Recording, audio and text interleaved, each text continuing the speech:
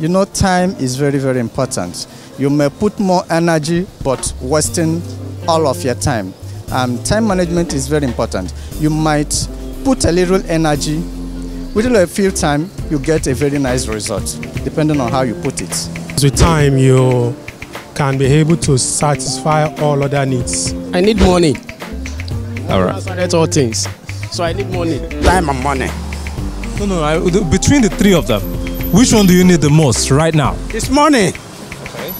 What I need the most right now, I could time.